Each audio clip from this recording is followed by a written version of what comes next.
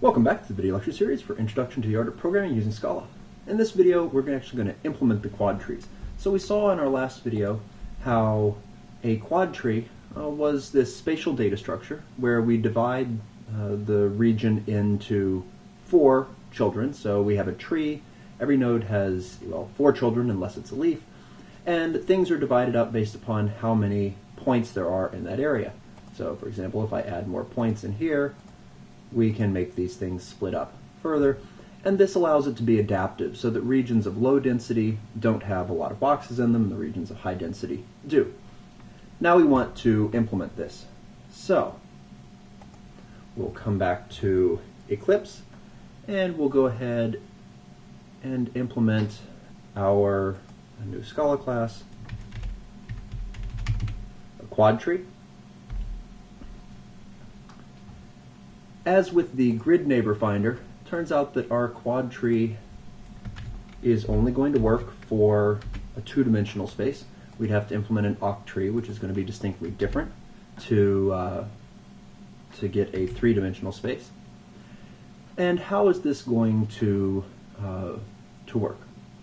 Well, turns out that some of the code that we used here, we're going to need uh, as well for the quad tree. We need to have information about the minimum maximum value because the quad tree starts off uh, with bounding the entire space and then it does the subdivisions. Um, but we're going to make it square. It's easier if we only have one size variable instead of having one for x and one for y. So I will go with, mm, actually we can do this in our, in our next call. So the root will be equal to make tree, and make tree we're going to pass it the points that are going into the tree.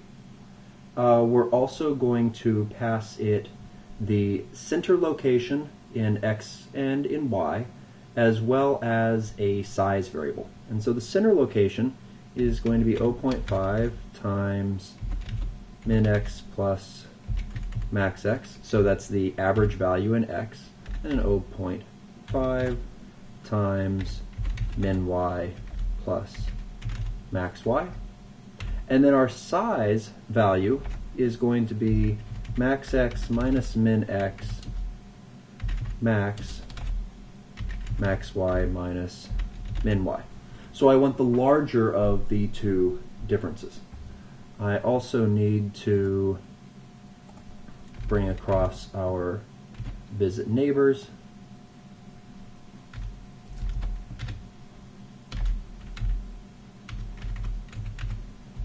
And now we need to define that make tree function. So make tree takes a um, a sequence of type A. I'll just call it P. It also takes a CX, which will be a double, CX for center X, CY, which will be a double, and a size, which will be a double. And this is going to return to us a node. Well, it's going to return to us a node, we better define the node type, which we don't have yet. So let's go ahead and let's create a class called node. What do octree nodes need to store?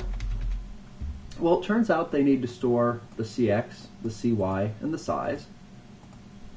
So how about we throw those into here?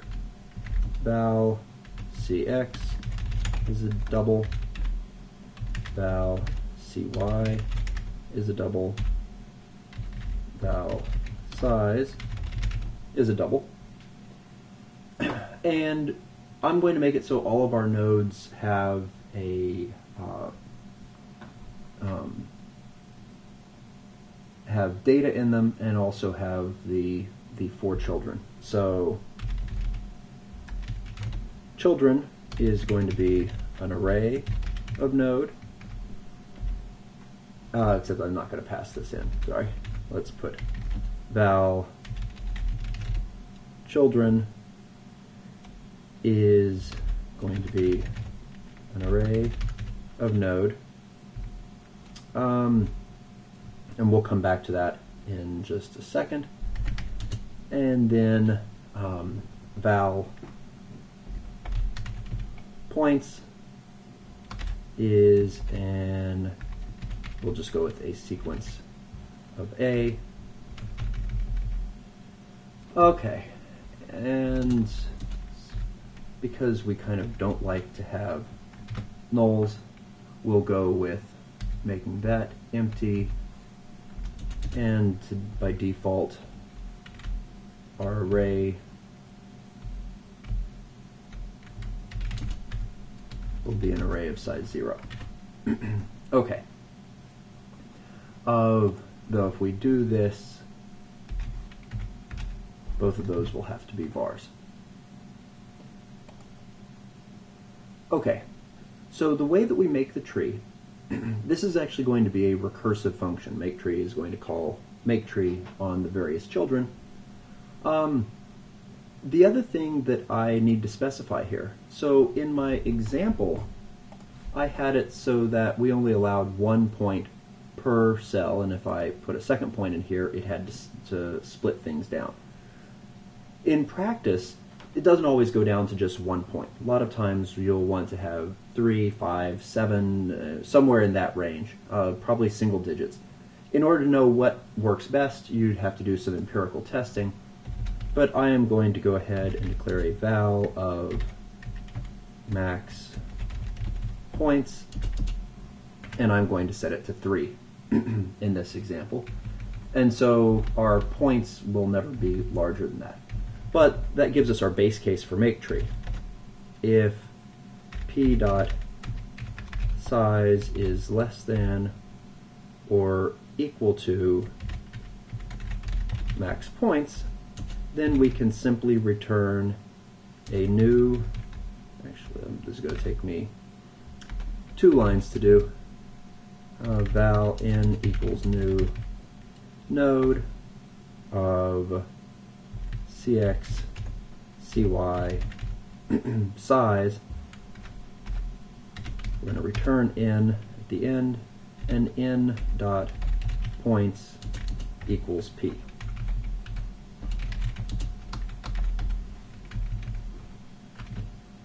else. So what if we're not in that base case? Well, that means that this has to split into uh, children.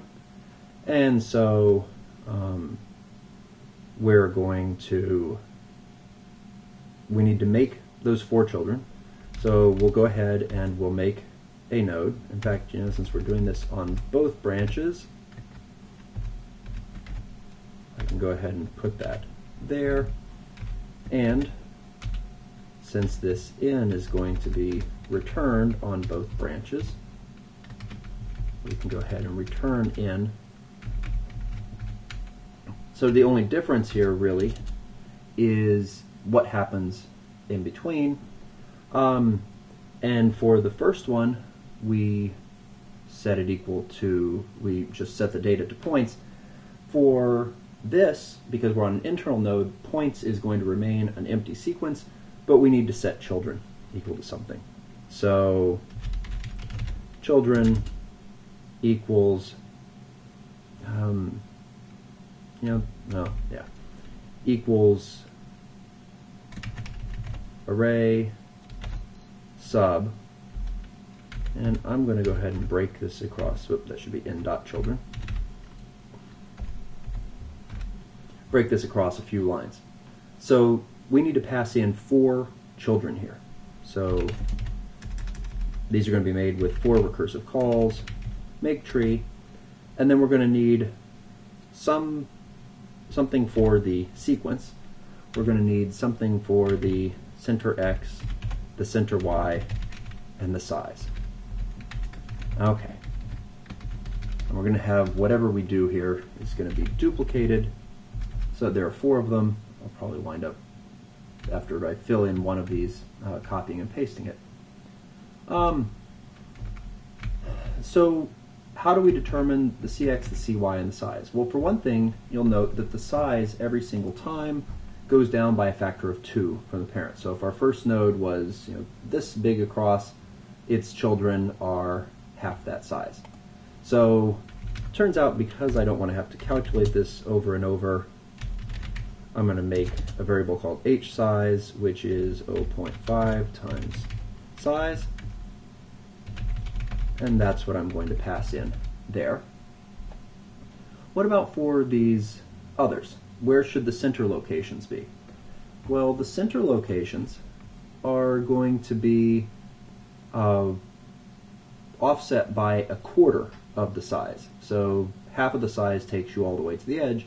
We're going to have one where the x is incremented by half a size and the y is incremented, another one where the y is decremented, another one where the x is decremented but the y is incremented, another, and then, so the four combinations of incrementing and decrementing.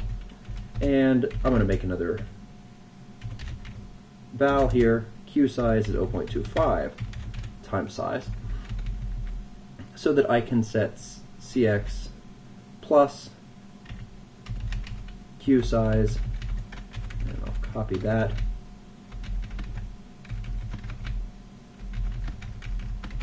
But these won't all stay pluses.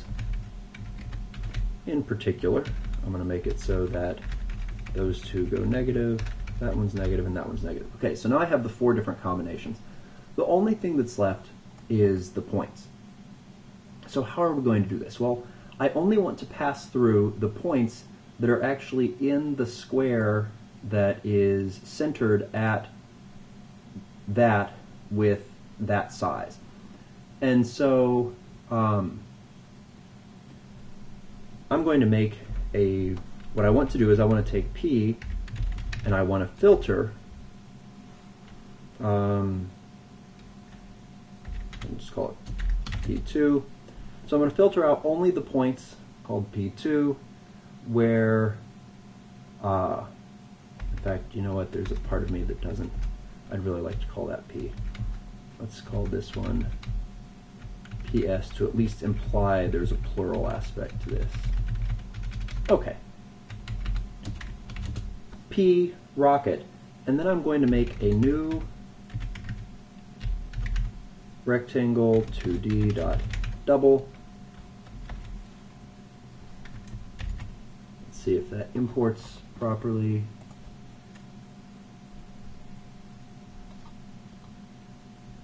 Is it because I don't, I'm not passing anything? Um, okay, that's fine. Uh, dot contains P.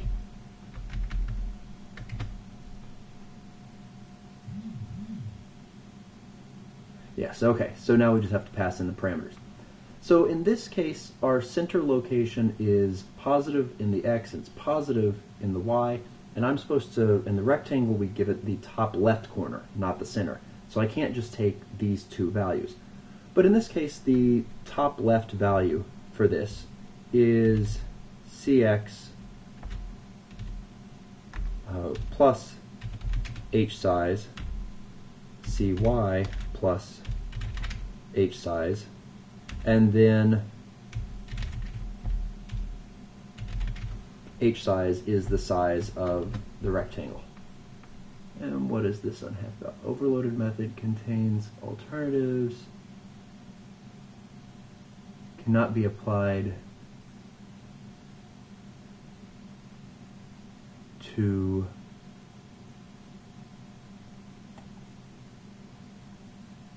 oh um Gotcha.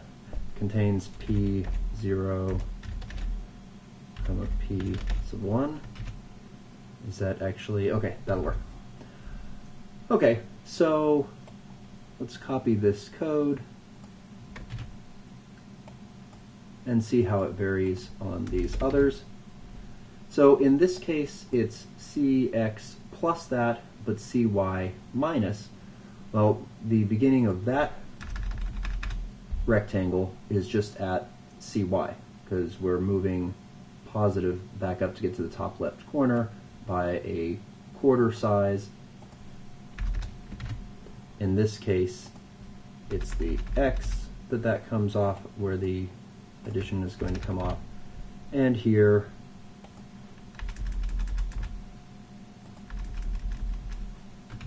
it's both. Okay? So, uh, this all compiles. We've taken long enough here to build the tree. Theoretically, this builds the tree. We'll have to do testing on it. We need to still write the code that actually visits the neighbors based upon the tree that we've built. We'll do that next video.